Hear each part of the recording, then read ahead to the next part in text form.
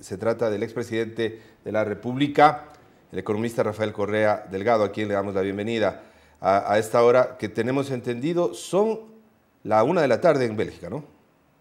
¿O las dos de la tarde? Las dos de la tarde. Las dos de la tarde. Muchas gracias por esta entrevista, Plus TV. Te felicito. He dado muchas entrevistas últimamente y los diez primeros minutos tratando de disculparse un poco menos por entrevistar. Así ha sido la cosa, ¿no? Así ha sido la presión, así, la alteración de valores.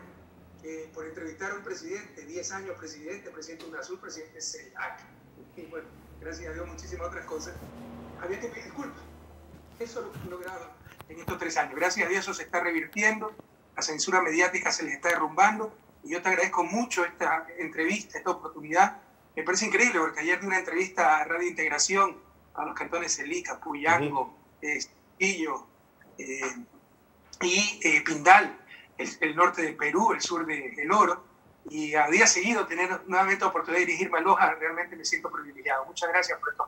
Bueno, realmente eh, en un inicio habíamos coordinado para hacerlo el día lunes, pero nos comunicaban que iba a conversar con un importante radio de la provincia como integración y dijimos, no hay ningún problema, nosotros nos quedamos para el día martes porque creemos que en ese sector de la provincia es importante también escuchar eh, el, criterio de eh, un personaje que nadie puede en este momento negar, ni el más eh, acérrimo de los enemigos de la Revolución Ciudadana, ni de Rafael Correa, la trascendencia y la importancia, algunos dirán para bien, otros para mal, que ha tenido la historia del país. Entonces, eso no se puede negar. Vamos a empezar, economista, hablando de economía.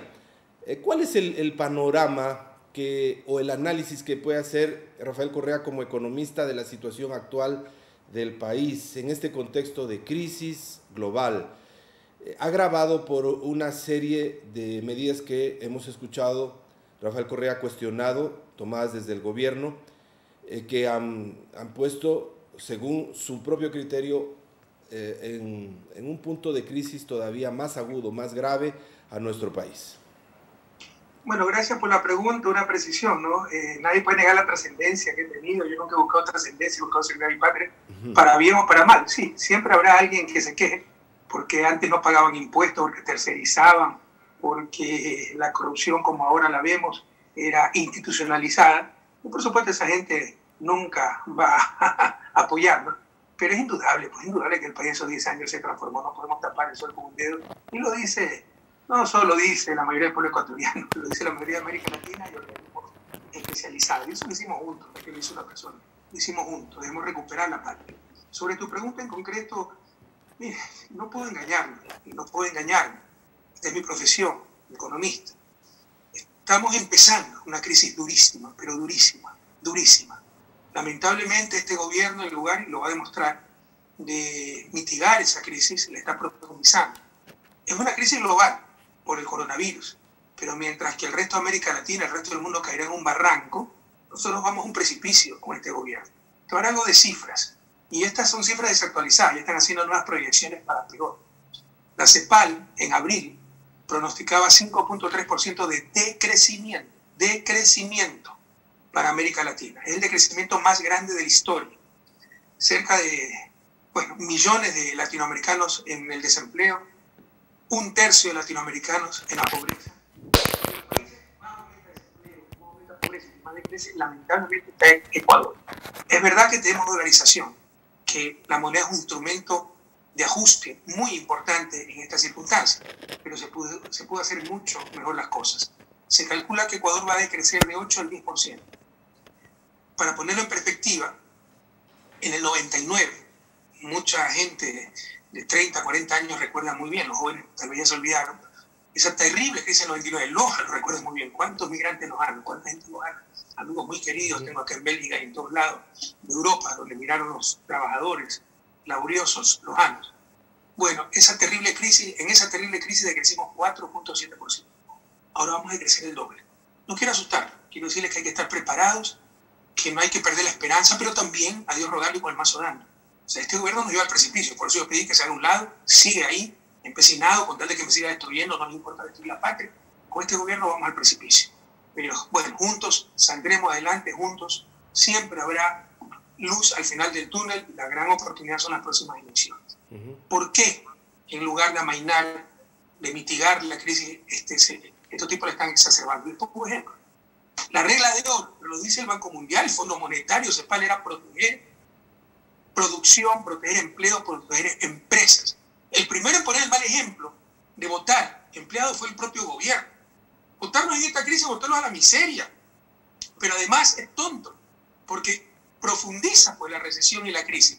El rato en que un trabajador público, di lo que sea, maestro, policía, todos esos son trabajadores públicos por si acaso, no ponte a alguien de escritorio, en la dependencia, qué sé yo, de Magabe Globo, pierden su trabajo, tal vez ya no compren la tienda de la esquina.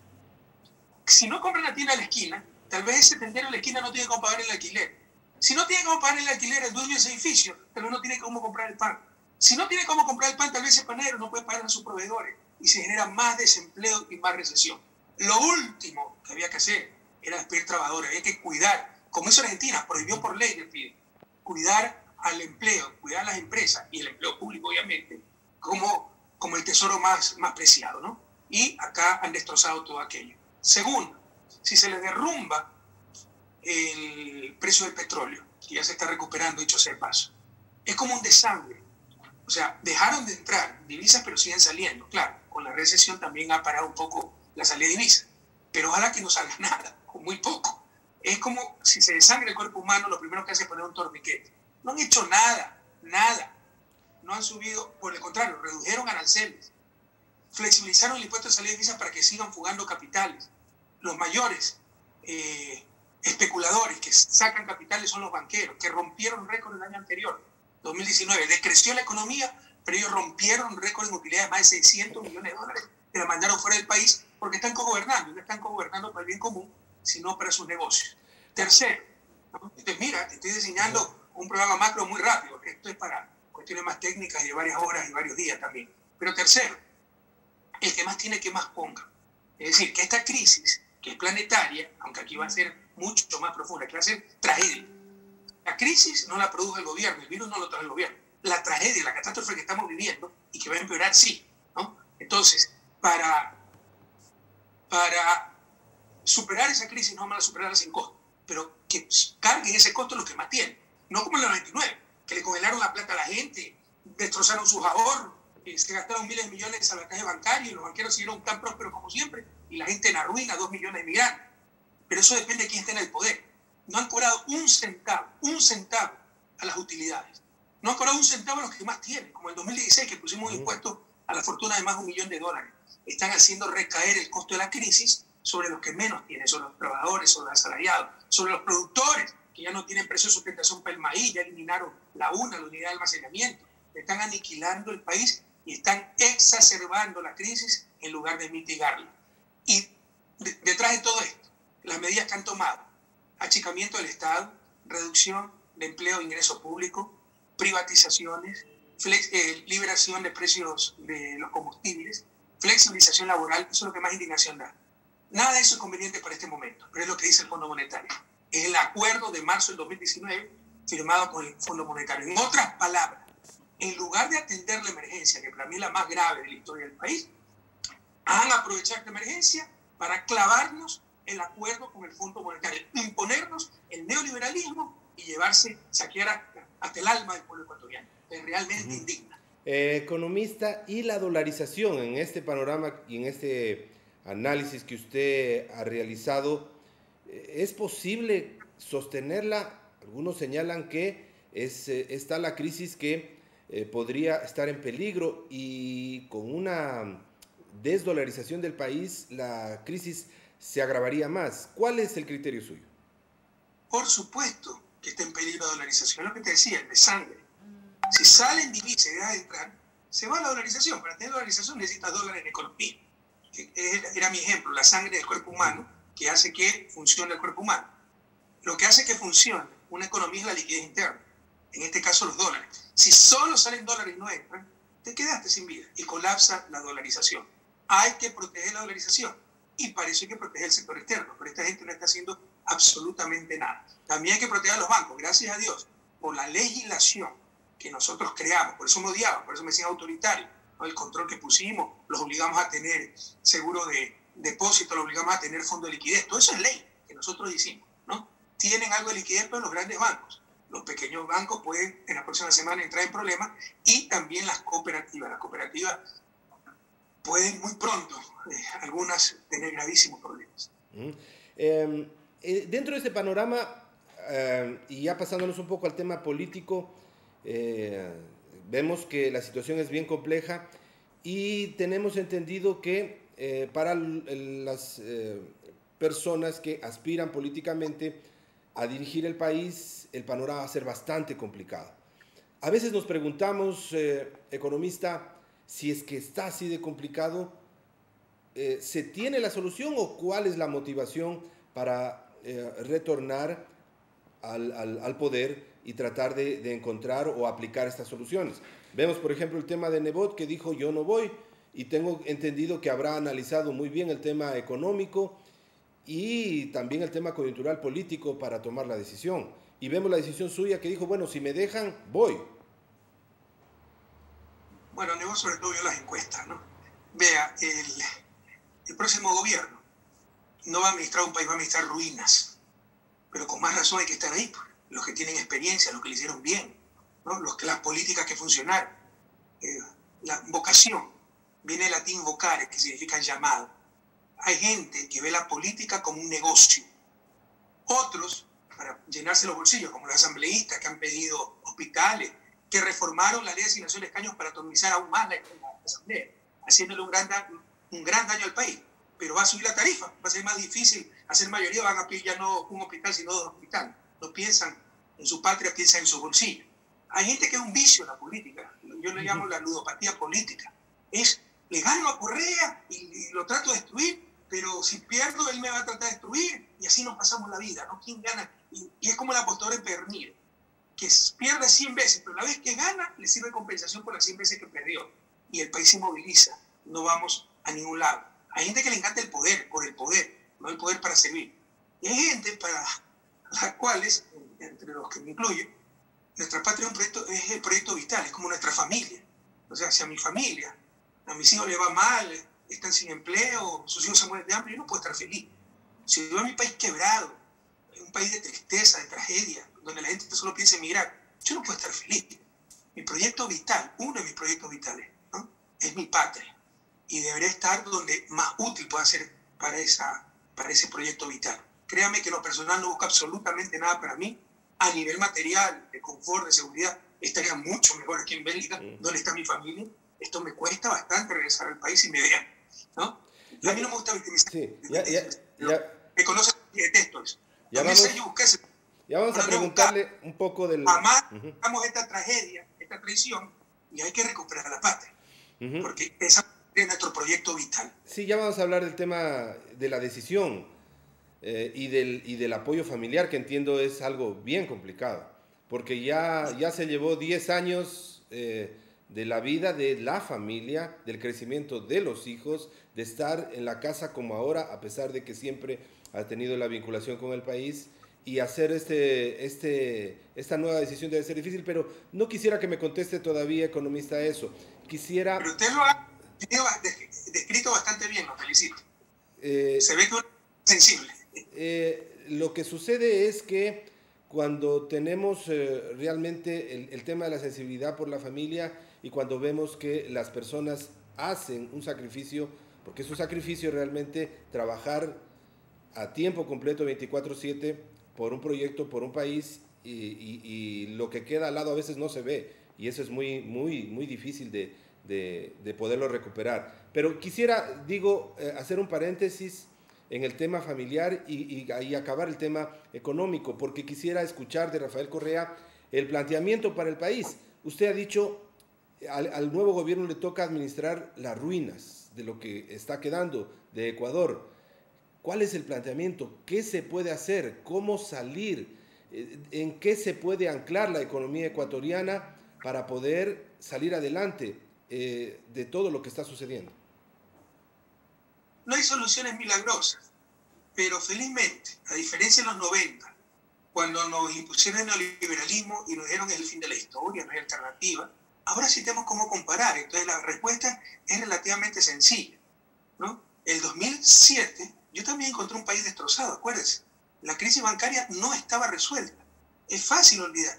Acuérdense la AGD, ¿no? Acuérdense el Fondo de Solidaridad que tenían las empresas eléctricas, las telefónicas, de derecho privado, preparadas para privatizar, no podíamos invertir, se nos caía el sistema eléctrico. No podemos invertir porque era especulado, eran personas de derecho privado, ¿no? Y querían venderlas para ayudar a los pobres, es decir, vender activos para ayudar a los pobres, para gasto corriente es un absurdo.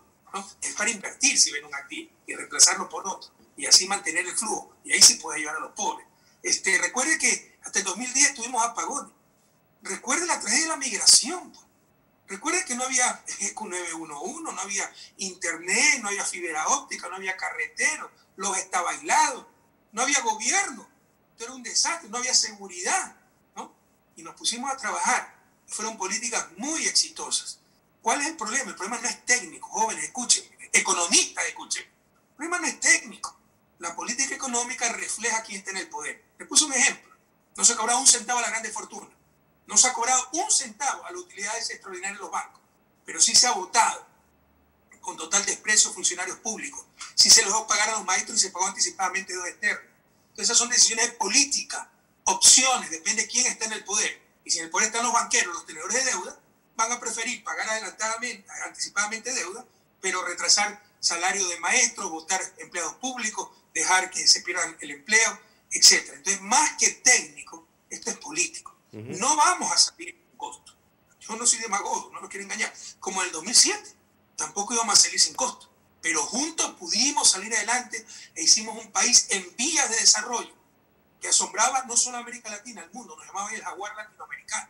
Que si hubiera seguido por esas vías, ¿no? en 20 años, 30 años, superamos ese desarrollo, lo que era mi sueño. Estos tipos me arrancaron mi sueño. Lo retrasaron 20 años. Ya en vida no veré a mi país fuera de su desarrollo. Pero hay que retomar ese camino. Pero lo que les quiero decir, de esto no salimos sin costo. Pero sabemos cómo hacer las cosas. Y más, más que técnico, el problema es político. Mientras nos gobiernen los banqueros, los importadores, la rosca política, que lo que busca es saquear el país, bueno, vamos a tener los desastres que estamos viendo.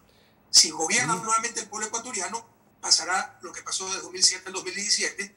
Habría muchos problemas por resolver, pero ¿cómo habíamos avanzado? Como nunca antes en la historia avanzado.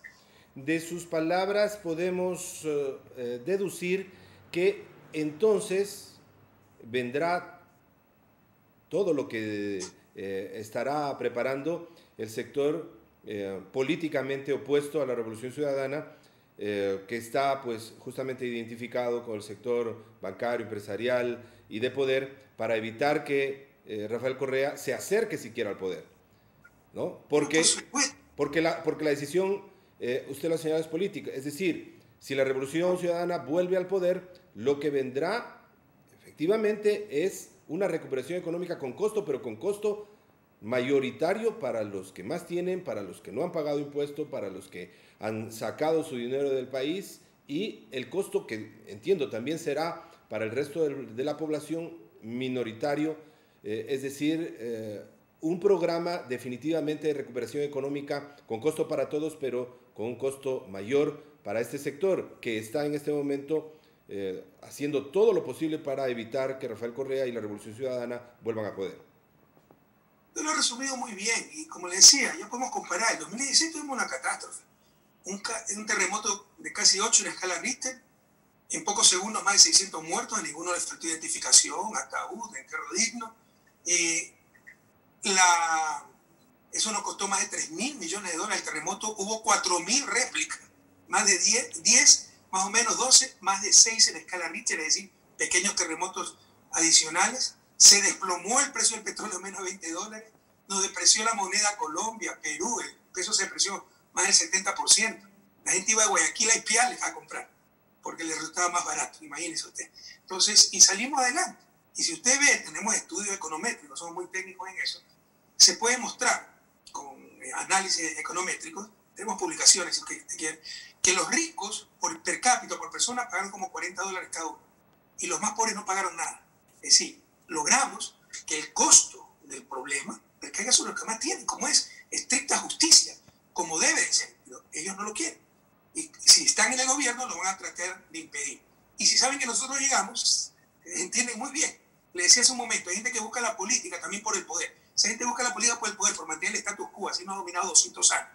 ¿No? Hubo un paréntesis de 10 años en que yo Correa con su revolución ciudadana, ¿eh? después de pasar ese aturdimiento, cooptaron a Lenín Moreno, la traición de Lenín Moreno, y dijeron nunca más Correa con Estados Unidos, busquemos por todos los medios aplastarlo, 31 juicios penales, tres años de campaña de difamación, destruir todo lo que han hecho, y finalmente no nos destruyeron y lo que acabaron destruyendo fue la patria. Pero lo que le quiero decir, como usted lo ha manifestado, están dispuestos a todo, porque esa gente no, no quiere perder el poder nuevamente, porque sabe que así va a costarle su bolsillo, como siempre debió ser, porque sabe que no nos irán dominando, entonces están dispuestos a absolutamente todo, pero ya la decisión del pueblo ecuatoriano cambiar las circunstancias.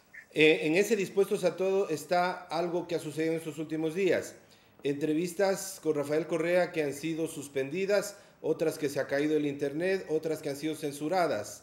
Eh, ¿qué, qué, qué cree usted que está sucediendo y de dónde vienen todas estas disposiciones o vamos a decir eventuales accidentes tecnológicos para impedir este tipo de, contactos de Rafael Correa a través de los medios de comunicación? Ese es el menor de los problemas. hemos tenido un blindaje mediático impresionante. Hace unos días tenía una entrevista en Radio Municipal. Me dicen que llamó el alcalde para suspenderla, en todo caso se la suspendió. Pero eso hemos tenido muchísimas cosas. Ah, hubo una entrevista que empezó los primeros 15 minutos, el dueño de la de la radio ordenó que se la corte. Eh, eh, sorpresivamente se va el internet o la electricidad cuando me están entrevistando. Sea, hemos tenido un acoso, un seguimiento brutal, pero ese es el menor de los problemas. O sea, cuando se juega con la libertad de la gente, con la reputación de la gente. ¿no? Yo jamás he tenido 20 centavos mal habidos, jamás en mi vida he aceptado un soborno. Ahora dicen que lo he aceptado con el flujo psíquico y por hacerme daño a mí. En Ecuador hay gente inocente, madres de familia que acaban de tener un, bebés, ¿no? que adoptaron niños jefas de hogar sola que luchan, que se pueden ir ocho años presas, presas, sabiendo que soy inocente, solamente por hacerme daño a mí. Acá vinieron a interrumpir mi vida familiar. Ramiro Cuevas de Loja, tengo juiciado y condenado, porque aquí sí, pero los jueces no se someten a la prensa, que no hay esos medios hegemónicos ecuatorianos. Pero con tanta mala fe, ¿no? mintiendo, que hizo un montaje en el video que grabó, que cualquier estudiante primario de comunicación se da cuenta del montaje, grabó en una ciudad vecina, unos 10 minutos, que tiene una distribuidora de Porsche, de carro de lujo, grabó esa parte para decir que yo vivía ahí, ¿no? En una ciudad de lujo. Entonces, el menor de los problemas, me cerraron el, intervinieron la fundación que hicimos en, en Quito antes de dejar la presidencia, el IPE, el Instituto de Pensamiento Político Económico, congelaron las cuentas. Nosotros hacemos consultoría, de eso también vivía. Ya no nos pueden pagar en las cuentas. Me cerraron la cuenta de Facebook, me quitaron seguridad, ¿no? Difamación por todos lados. En la campaña del 2018 nos mandaban matones con piedra, palos, huevos, hacernos incidentes en todos lados, casi nos matan en Quinindé. O sea, el menor de los problemas es que nos hayan censurado mediáticamente. Ha habido una persecución brutal como nunca antes en la historia. Pero se lo criticaba a Rafael Correa de, ello, ¿no? Se lo criticaba de enfrentar a los medios, de descalificar a los periodistas, de, de siempre tildar eh, a, sectores eh, eh, identificados dentro de los medios de comunicaciones como prensa corrupta y de que había, o que no había, más bien dicho, libertad de expresión en el gobierno que usted presidió. sin embargo, comparando eso con lo que ahora sucede, ¿qué, qué opinión tiene usted de, todo el, el, primero las acusaciones, las descalificaciones y lo que sucede ahora? Bueno, usted lo ha dicho, pues. Yo 10 años enfrenté a los medios corporativos hegemónicos que han dominado el país, que no han robado la democracia, porque no importa quién llega al poder. Lo que importaba era lo que dijeran los medios de comunicación, como ahora. Conmigo importó el pueblo ecuatoriano. Pero frontalmente, pues.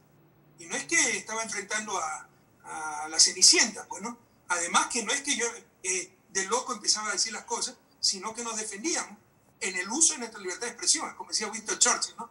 La libertad de expresión es algo muy, muy peculiar cuando ellos dicen cualquier cosa es libertad de expresión. Cuando uno le responde, no es libertad de expresión. ¿En qué estamos?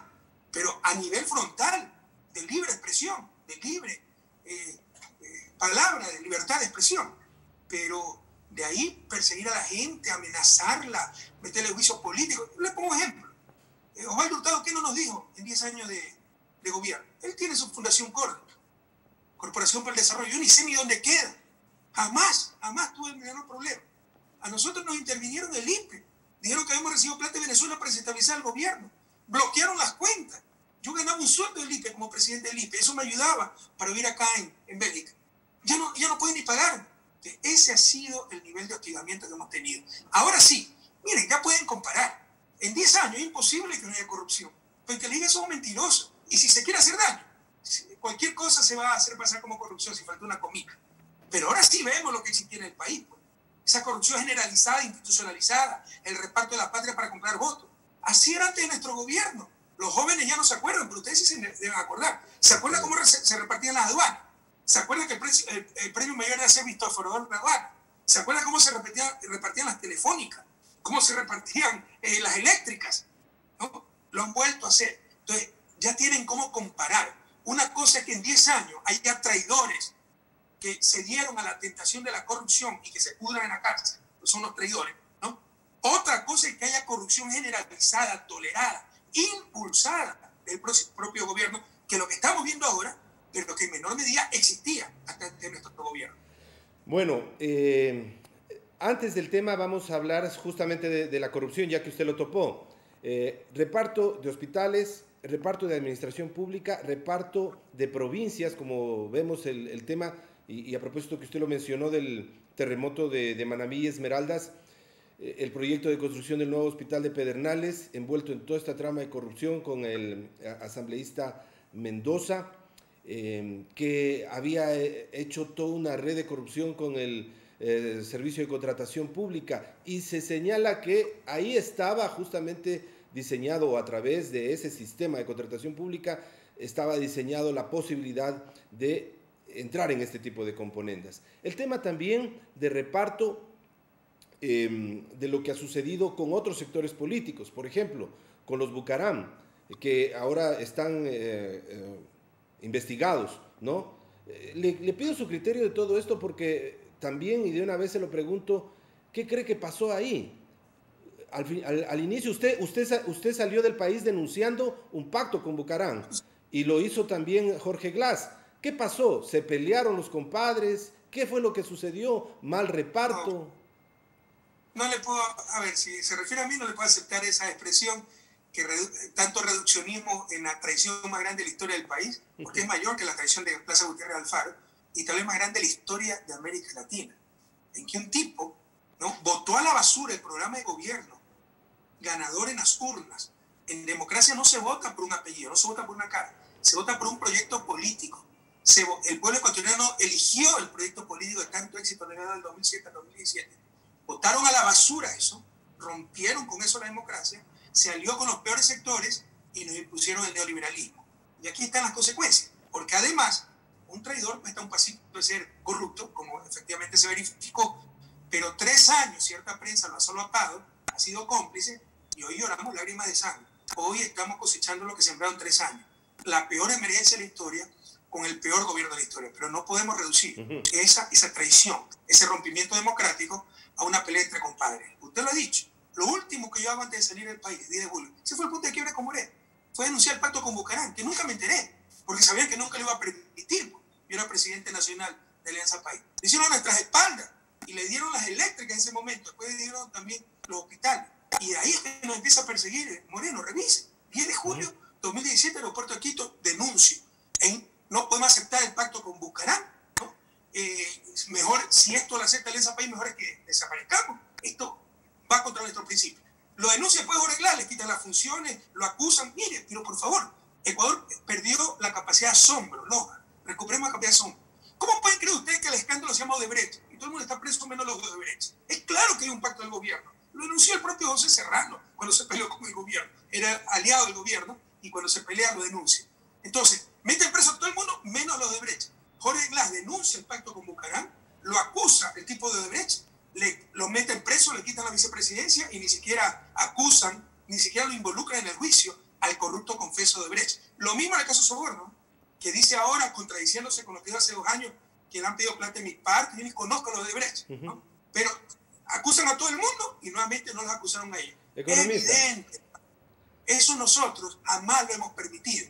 Alguien dirá, con dolor les voy a poner el ejemplo de un Lojano, pero Ramiro González, usted le dio el 10. No se trata de reparto, se trata de gente que creíamos capaz y fue un farsante. O Ramiro González no fue dos veces prefecto de Pichincha por elección eh, popular. O no fue el candidato a vicepresidente León Rolón. Entonces León Rolón es un corrupto pues, también. Porque resulta que tenía vicepresidente un corrupto. Una cosa es que alguien engañe, alguien traicione la confianza depositada en él.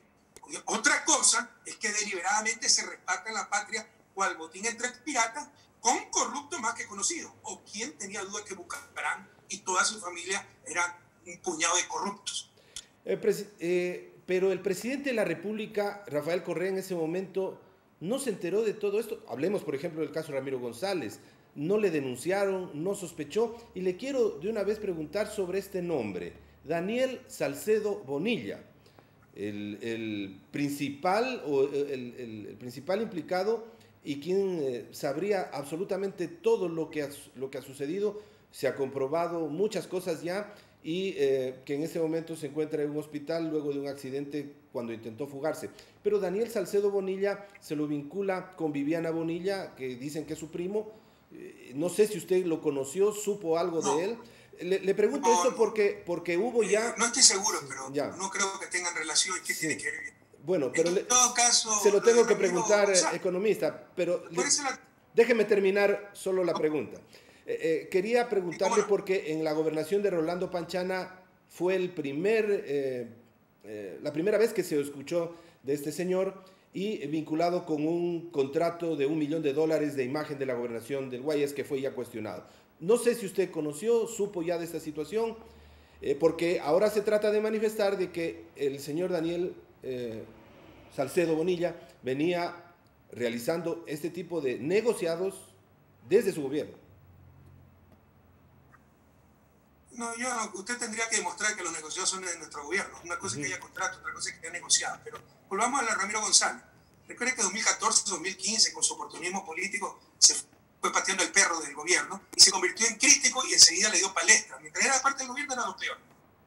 Cuando empezamos a insultar a Correa, pues la prensa hegemónica los ponía como princesita de la vida y le daba la... Acuérdense, acuérdense que era el héroe. Pero nosotros desde antes ya habíamos empezado a investigar porque teníamos denuncias, sospechas y lo, el juicio con lo que se condena o se tiene orden de prisión Ramiro González empezó la investigación en nuestro gobierno, empezó en el SRI, los movimientos financieros y todo aquello. Si quiere, verifique lo que estoy diciendo. Sobre este señor Salcedo que no conozco, no, que no eh, eh, estoy casi seguro que no tiene nada que ver con Viviana Bonilla. A mí, mire, Viviana no se portó bien con nosotros, ¿no? pero me duele en el alma. Viviana acaba de tener hace unos meses su segundo bebé.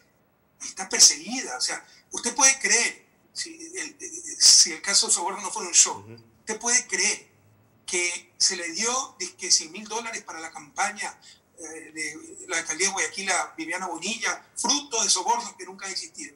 Y no se le habrá dado entonces a Augusto Barrera que iba a la reelección de Quito. No se le habrá dado, no se le habría dado exactamente a Paul Granda que iba a la reelección de la alcaldía de Cuenca. claro que están manipulando eso. Lo que pasa es que Paul Granda y Augusto Barrera son aliados del gobierno.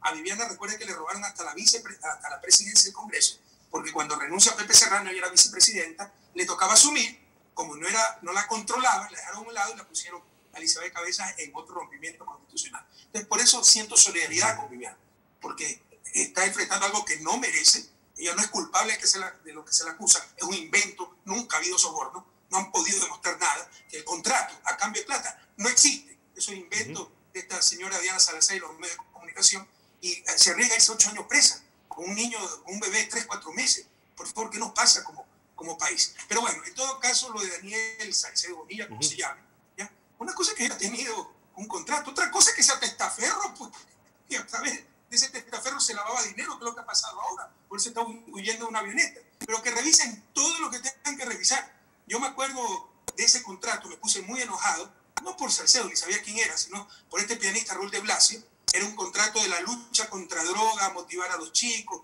es experto en ese rol de Blasio, me pareció carísimo. Ese fue uno de los motivos por los que saqué a Rolando Panchana, se investigó en fiscalía, creo que se archivó finalmente el caso. Pero si quieren, háganlo, investiguen lo que sea. A nosotros nos ha amenazado varias veces. Ya viene Capaya a decir todo lo que sabe. Bienvenido, que diga, póngale el micrófono. Ya viene Pablo Romero todo lo que sabe. Bienvenido, póngale el micrófono. Ahora Daniel Salcedo todo lo que sabe. Bienvenido, póngale un micrófono para demostrar quién es quién en este país. Y dicho sea de paso, ¿cuántos días ya lleva Daniel Salcedo desde el accidente, la captura? que está en estado de coma? ¿Por qué no se saben sus declaraciones? Porque están encubriendo al gobierno. Saben que el reparto de hospitales, el pacto con Bucarán, viene de Romo, viene de Moreno, que si hubiera un Estado de Derecho, no solo se caería el gobierno, se tendría que ir preso por sinvergüenza. Pues, que hable Daniel Salcedo, que hable todo lo que sabe, por favor. Eh, quiero preguntarle de una vez el tema de la situación de la prefecta Paola Pavón y también del alcalde Jorge Yunda. Sobre todo este segundo, cuestionado también, bastante cuestionado por algunas decisiones eh, de la, eh, contratos de emergencia o, compras de emergencia por la pandemia y también obras de Quito. ¿Qué opinión le merece de todo lo que está sucediendo? Aparentemente, o, se, se, escucha acá, que el hecho es vincular también a sectores que estuvieron o tuvieron afinidad con Rafael Correa dentro de casos de corrupción? Bueno, esa, es un poco la estrategia. En verdad no conozco a fondo los problemas de Jorge Yunda. Lo que sí es sospechosa la coincidencia, ¿no? El momento en que Jorge Yunda se independiza un poco del gobierno, le empiezan a caer los casos de, de corrupción. Mire lo que pasó en el CNE con Diana Tamay, ¿ya? El momento en que le para el carro loco orate del contralor que se cree emperador como tú dices, ¿no? resulta que le llama a la fiscal y le reabre una causa. Es evidente lo que están haciendo, persiguiendo a través de la justicia. Los anos, deberíamos todos revelarnos frente a esto. No nos hacen daño a nosotros, le hacen daño a todos. Se destruye el Estado de Derecho, se destruye el principio, la presunción de inocencia, los principios de justicia. Y con eso nos perjudican a todos. Entonces, mire, con Yunda yo tengo un distanciamiento, él llegó por nosotros, pero me parece muy, muy tibio. Por ejemplo, para congraciarse con el gobierno, ya le cedió la unidad de comunicación a un delegado del gobierno, a un asociado de Andrés Michelena. Esa es la forma de actuar, ¿no? repartir también para contentar a todo el mundo. eso no es nuestro estilo. jamás vamos a estar con esta práctica. Y, la ahí, que los juicios sean correctos o no, realmente no tengo suficiente elemento de juicio, pero sí muy sospechoso. El momento en que empezaba a abrirse el gobierno, le caen todos esos juicios, y ahora que entrega la unidad de comunicación al gobierno, vamos a ver qué pasa con esos juicios. Y el transporte, la vinculación, y el tema de supuestos diezmos de Andrés Páez también en la administración de Jorge, Jorge Eso, tiene, eso es lo que le decía, ¿no? Esas prácticas nosotros las rechazamos. Eso es lo que, pero no nos engañemos, Ale. ¿Qué edad tienes tú, por favor? 50 añitos ya. 50. Ya 50, tú eres unos 15 años mayor que yo, pero bueno.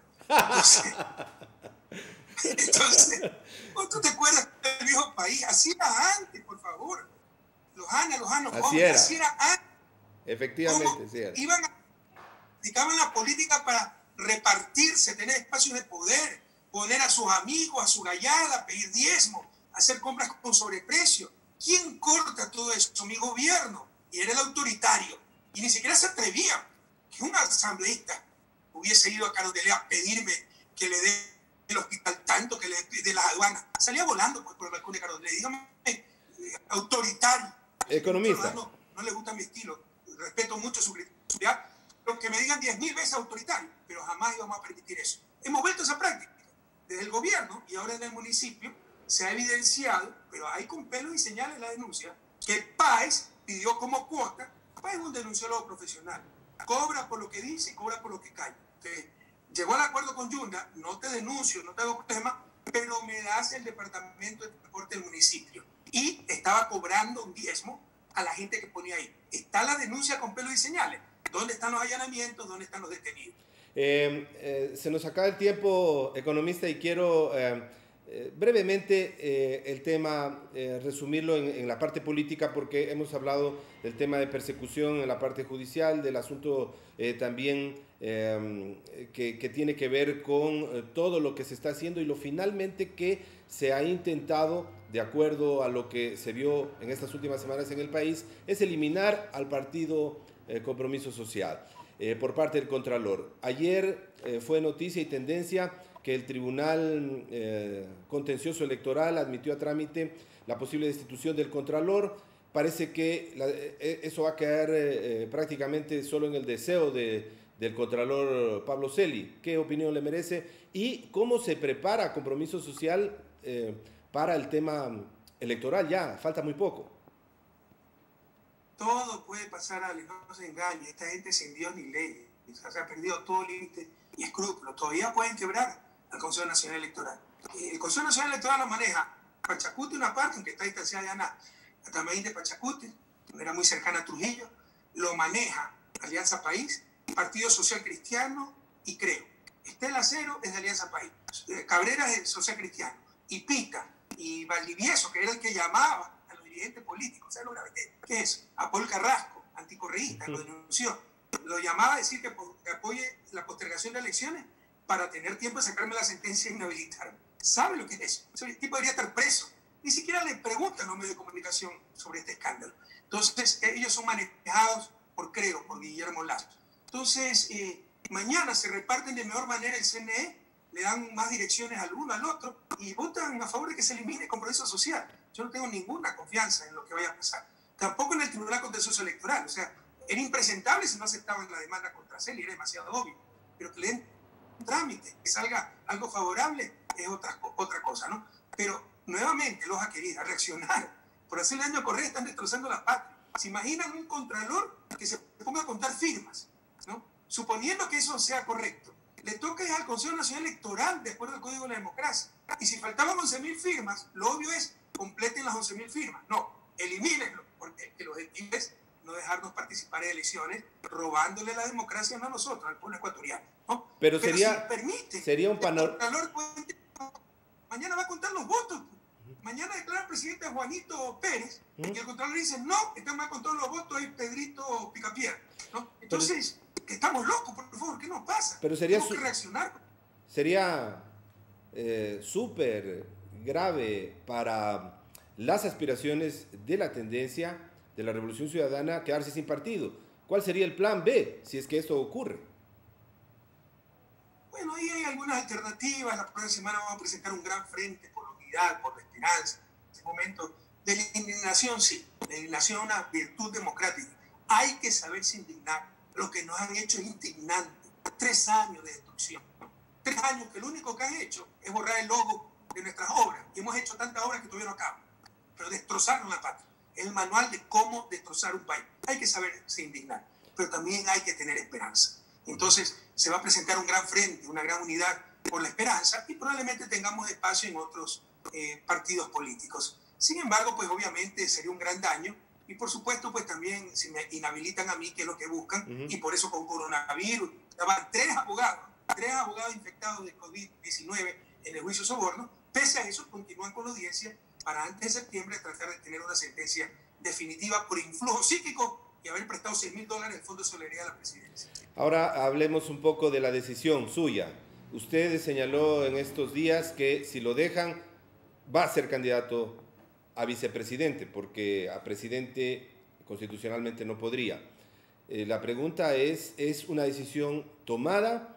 ¿Y quién sería el candidato o la candidata a presidente de la República?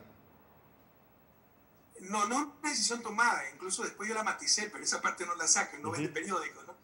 Dije, por eso le pregunto, es, es pregunta. necesario. ¿Ok? Eh, como le digo, eso me complica mucho, mucho mi vida familiar, usted enumeró algunos problemas. Cuando uno toma la opción política, bueno, fuera que uno solo se involucre. Lastimosamente, uno la toma por la familia, también involucra a toda la familia. Uh -huh. Y es duro, es doloroso.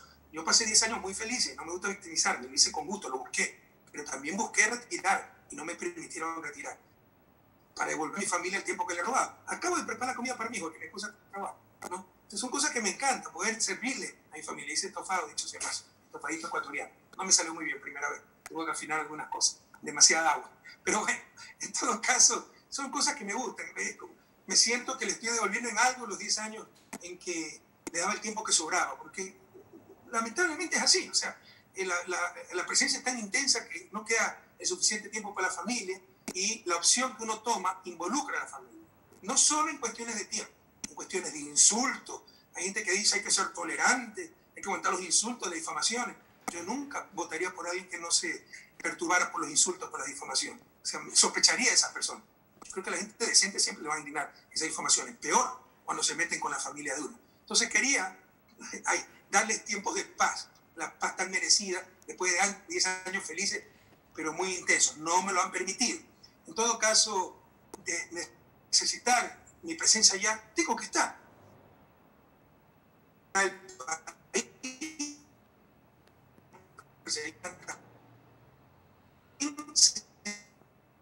Candidatura. Salud colapsada. Está viniendo ya a la cima, ¿no? con C, la cúspide de la curva epidemiológica. La situación es muy difícil. En estos momentos hay que preocuparse salvar vidas, preocuparse enfrentar la terrible crisis económica que cada vez se agrava más y luego hablaremos de candidatura. De hecho, el que esté hablando de candidatura en estos momentos es la mejor muestra de que no debe ser candidato. Bueno, eh, y, si no podemos hablar de candidaturas eh, de eh, la presidencia y vicepresidencia, peor aún tengo entendido se puede hablar de lo que sucede en Loja, ¿no? ayer recibí algunos mensajes de quien está al frente de la coordinación de Revolución Ciudadana aquí en Loja y nos dice, bueno, estamos trabajando, estamos unidos, no hay división él me reclamaba un poco que la vez pasada que conversamos con usted, yo le decía, la gente está un poco dividida acá, él me aclaraba que no. Pero sí le quiero decir que, eh, más allá de que haya o no haya división, han aparecido muchos frentes que no directamente quieren vincularse o trabajar desde la estructura política de compromiso social, pero quieren apoyar la tendencia, quieren apoyar la candidatura de Rafael Correa o del binomio de Rafael Correa y quieren trabajar en esa línea. Eh, ¿Usted eh, tiene de alguna manera eh, el, mapa, el panorama en este momento de lo que sucede políticamente acá en el sur del Ecuador y particularmente en Loja? Poco, sé que se ha hecho un gran trabajo, le agradezco muchísimo a los representantes de juntas parroquiales, dirigentes locales, cantonales, están haciendo un gran trabajo con prácticamente nulos recursos, mi reconocimiento siempre, pero no conozco a profundidad la cuestión política. No me extraña que se estén peleando, lastimosamente es la historia de la política ecuatoriana y de la izquierda ecuatoriana, ¿no? mientras que a la derecha la unen sus fines, el fin de lucro, es decir, controlando el billete, a la izquierda la desune su principio. No, yo soy purista, la checklist, Correa, ah, no, no está de acuerdo con, el aborto, entonces en contra de Correa, el todo nada, ¿no? Y así lo destruimos nosotros mismos. Ojalá maduremos, ojalá sepamos que hay un bien mayor a nuestras aspiraciones legítimas, probablemente personales, ese bien mayor se llama la patria. Y no es para ganar las, las próximas elecciones, es para sacar esa patria de su desarrollo. O sea, los políticos serios no vamos a estar pensando en las próximas elecciones, sino en las próximas generaciones. En todo caso, mi gratitud a los compañeros, yo sé que en condiciones extremadamente difíciles, adversas, están haciendo un gran trabajo allá en la provincia de Loja. Y bienvenidos a todo ese gran frente. Y incluso anticorreístas, oiga, no, no se entren todo en mí, es por la patria. Y ojalá esta dura experiencia nos haya hecho madurar también a cada uno de nosotros, ¿no? Que ah, Correa me caía mal, que esté cansado.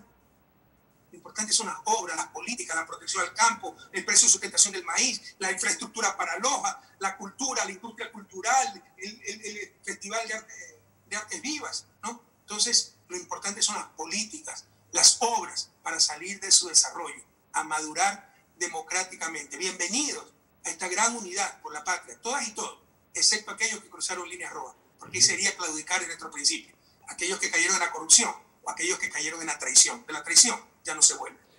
Bueno, y, solo para finalizar le voy a, dar dos nombres que acá se escuchan, podrían eh, o no descartan alianzas con Rafael Correa, con la Revolución Ciudadana. El exalcalde José Bolívar Castillo y la asambleísta Verónica Arias. Em, de estas alianzas se habla, eh, podrían ser para las elecciones eh, por asambleístas mismo. Entonces, no sé si, si esto tiene algún sustento desde el, desde el diálogo con Rafael Correa o todavía es muy prematuro hablar de ello. Ya le digo, no es momento de la candidatura, pero Verónica Arias me sorprende, porque hay que hablar de candidatura, Verónica Arias consideramos parte del equipo, una mujer extremadamente leal, extremadamente capaz, yo la quiero muchísimo, y es de parte, parte de nuestro equipo. No sé si ya tiene una o dos elecciones, no recuerdo, pero si tiene una elección sería nuestra principal opción para, para ser reelecta. Se ha hecho un trabajo extraordinario. Tantas amenazas, acoso mediático de Ramiro Cueva, eh, persecución que ha sufrido y, jamás se dio, jamás se sometió. Otra una valentía increíble, ¿no? Yo la aprecio muchísimo y no es lo que yo aprecie solamente. Creo que el trabajo que ha hecho para Loja y para el pueblo ecuatoriano es un gran nivel, es una de las mejores asambleístas de, eh, de la asamblea, ¿no? Y sobre Bolívar, el Chato Castillo, bueno, siempre podemos conversar. O sea, yo no es que coincide todo con el Chato Castillo, pero lo considero un hombre eh, honesto, lo considero un gran alcalde, con sus excesos, como usted quiera. Pero prefiero tener a alguien que le esté, ya no vaya tan rápido, aguanta, aguanta. Alguien que esté empujando y así se mueve. Yo creo que deberían evaluar bien eso. pero en todo caso, por supuesto, con personas como él, que no han cruzado esa línea roja, que no han caído en la corrupción, en la traición, siempre podemos hablar. Muchas gracias. Se nos quedó un tema fundamental que espero poderlo tratar en, el próximo, en la próxima oportunidad y que nació como una idea también de Rafael Correa, que es el Festival de Artes Vivas, que finalmente no se va a desarrollar este año, que nos duele tanto porque pensamos que era el ancla fundamental en donde podría eh, eh, fundamentarse, valga la redundancia, el desarrollo de, esta región que, que, tanto lo necesita y que tanto eh, potencial tiene en el ámbito del arte y la cultura. Esperemos tener el tiempo ah. adecuado para poder hablar de ello. Si me permite rapidito darle idea de claro. parte de una estrategia, desarrollar la industria cultural, debemos diversificar la economía, y la industria cultural se basa en el talento humano, en industria sin humo. ¿Qué es la industria cultural? El cine, las editoriales, eh, las artes vivas, el teatro, la música.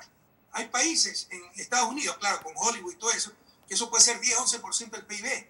Argentina, con las grandes editoriales que tiene, debe ser 6-8%, algo similar a Colombia, aquí cito nomás, en nuestro país. Ecuador será cuánto, 1-2%. Entonces tenemos un gran potencial de crecimiento, por eso la, eh, la Universidad de las Artes, por eso articular los conservatorios, por eso la nueva infraestructura cultural como el Teatro de Loja, por eso el Festival de Artes Viva de Loja, no solo por Loja, por el país entero. Pero no lo entienden, los mediocres no lo entendieron nunca. Los centralistas nunca quisieron ese festival en Loja. ¿Cuánto tuve que luchar? ¿Cuántas calumnias tuve que recibir? Cuando querían eh, dejar sin firmar los contratos para después decir no se puede firmar el contrato, no se hace el festival, me impuse. Entonces después dijeron que estaba recibiendo comisión, cualquier cosa, no me importa. La cuestión es que se logró que continúe el festival. Con qué pena veo que el propio alcalde, que primerito, y como con, gusto, ¿no? porque es contra Correa, según él, ¿no? Va a haber festival, cuando se podía esperar un poco más, o al menos decir, con qué dolor le tengo que decir que no va a haber festival. Ojalá que el festival no desaparezca, no solo por Loja, como te decía, es parte de la estrategia de desarrollo, desarrollar, hacer crecer la llamada industria cultural tan importante en otros países y tan incipiente en Ecuador. Creo que en eso sí estamos en plena coincidencia. Loja no va a dejar que eso suceda. Loja no va a permitir que eso suceda. Y pienso que en eso blancos, negros, rojos, verdes, amarillos estamos de acuerdo. Es eh, creo que es eh, prácticamente una posición muy. En Loja. En Loja. También es cierto. También es verdad. Jamás ese festival se hiciera en Loja. Jamás. Lo trataron de boicotear por todos los medios. Sí, lo conocemos. Eh, muchas gracias, economista, por el espacio. Nos hemos pasado algunos minutos, pero yo creo que este último tema era muy importante y hay que desarrollarlo más porque no es solo eh, la idea de hacer un festival y qué bonito, todos vamos a Loja en noviembre. Tiene muchas implicaciones, como usted lo ha señalado. Eh, vamos a despedir acá y queremos pues agradecer a nuestro invitado por habernos permitido en esta ocasión poder conversar sobre varios temas ampliamente aquí desde el sur del Ecuador. La pausa y regresamos enseguida. No.